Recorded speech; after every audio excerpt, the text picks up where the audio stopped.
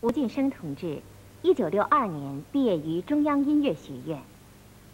他曾经从师于老一辈的琵琶演奏家、教育家林石成先生。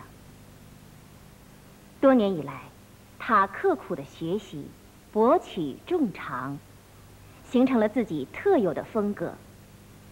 他演奏的特点是快而不乱，慢而不断。强时如雷贯耳，弱时溪水潺潺，可谓独具一格。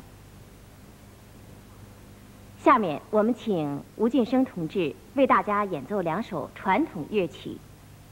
先请听《大浪淘沙》。